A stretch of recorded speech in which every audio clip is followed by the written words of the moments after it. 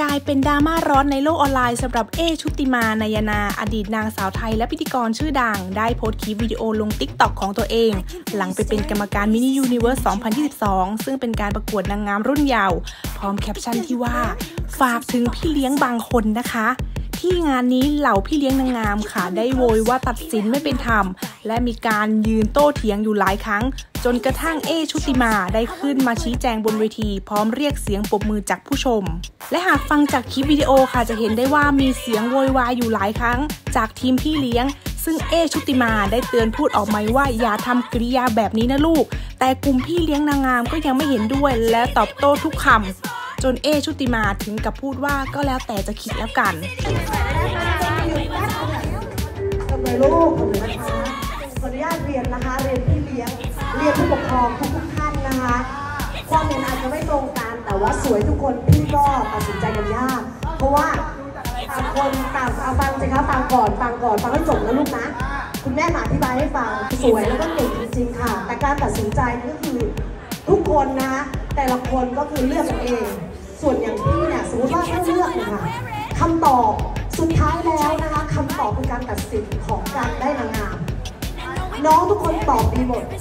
แต่เอาฟังฟังเดี๋ยวสิพูดถึงทุกคนของทีมหนูสินะทีมหนูตอบดีหมด แต่ฟังก่อนค่ะ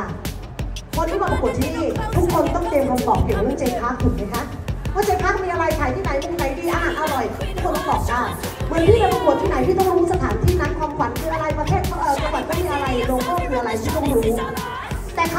ำถามที่เรียวที่สุดมีอยู่คำถามหนึ่งซึ่งพี่ก็ไม่รู้ว่าน้องจะตอบได้อันนี้เรื่องจริงเขาถามว่าถ้าคนที่หนูไม่ชอบ ขึ้นได้รับตำแหน่งหนูจะตอบว่ายังไงแล้วเด็กคนนี้เด็กคนนี้ตอบจากเรียวคือตอบจากใจเขานะเป็นเรียวจริงๆเอาหนูต้องฟังสิลูกมันก็ต้องฟังนะสิคะไม่แต่อันอื่นมาตอบดีทุกคนเนี่ยอย่างเงี้ยการเป็นพี่เลี้ยง หนูสวยเด็กหนูตอบดีแต่ว่าน้องจากเรียวที่คำตอบเขาที่เขาบอกว่าไม่ได้เตรียมเลยอะไรอย่างเงี้ยค่ะเขาตอบได้ว่าเออเป็นการเสียสละก็คือเพื่อนๆได้รับเขาก็ยินดีด้วยอาจริงๆก็เหมือนอย่างตรงเนี้ยค่ะแม่ก็อยากจะบอกว่า ถ้าน้องคนนี้ได้รับลูกๆหนูก็ต้องยินดีด้วยค่ะนะคะนี่คือคำตอบ ไม่ทราบว่าใครจะคิดยังไงแต่นี่คือคำตอบของใจแม่สั่งใจได้จริงๆน้องหนูสวยทุกคนจริงๆค่ะยอมรับว่าเด็กเด็กของน้องๆก็สวยทุกคนและความสามารถ เยอะแต่เพราะเอิญว่ามันเฉือนกันนิดเดียวลูกนะคะ ก็ก็เข้าใจตรงกันที่ต้องมาชี้แจงไม่อยากให้มีปัญหาจริง ๆนะคะถามว่าสวยไหมสวยมากสวยจะเลือกไม่ถูกเลยจริงๆค่ะแต่ว่ามันเหลือคำตอบ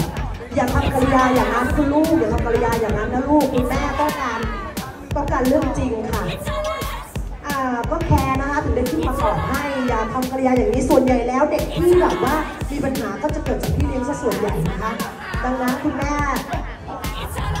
ก็แล้วแต่จะคิดแล้วกันโอเคค่ะ ก็มามอบตำแหน่งกันนะคะ โอเค ก็ได้อธิบายแล้วค่ะ ขอบคุณค่ะพี่ขอบคุณมากเลยนะคะพร้อมทั้งเอ้ ชุติมาก็ได้เผยในคลิปว่าคือแบบนี้นะคะทุกคนงานนี้เป็นการประกวดเวทีเด็ก Mini Universe พี่เอ้กับกรรมการอีก 6 คน ตัดสินเป็นเอกฉันท์ให้น้องที่สวมมงกุฎได้ที่ 1 น้องอีกคนได้รอง และบอกว่าพี่เลี้ยงเขามีการเท้าเอวโวกเวกเสียงดังแม่พยายามอธิบายให้ฟังด้วยความใจเย็นด้วยเหตุผล พี่เลี้ยงแบบนี้ก็คือพ่อแม่รังแกฉัน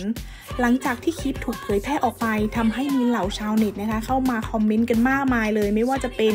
พี่เลี้ยงนางงามชอบหวังเกินว่าเด็กตัวเองจะได้ เด็กตัวเองสวยกว่าคนอื่น จนลืมไปว่านางงามคนอื่นก็สวยมีดีเช่นกัน พี่เลี้ยงจัดงานเองเป็นเลยจ้าจะได้ถูกใจตัวเอง แล้วก็มีอีกหนึ่งข้อความค่ะบอกว่า พี่เลี้ยงควรไปแข่งเองแล้วก็วุฒิภาวะคือสิ่งสำคัญจริง ๆ พี่เลี้ยงก็จัดประกวดเองเลยค่ะ แล้วก็ให้มงเด็กตัวเองไปเลย ซึ่งความคิดเห็นส่วนใหญ่นะคะไปในทางเดียวกันว่าสิ่งที่พี่เลี้ยงนางงามทำนั้นไม่เหมาะสม หากมติเป็นเอกฉันท์ก็ควรที่จะยอมรับความจริง วุฒิภาวะคือสิ่งสำคัญจริง ๆ ค่ะถ้าไม่อยากพลาดข่าวบันเทิงแซ่บๆ อย่าลืมกดไลค์ กดแชร์ กด Subscribe ทางช่อง YouTube Top ดาราด้วยนะคะ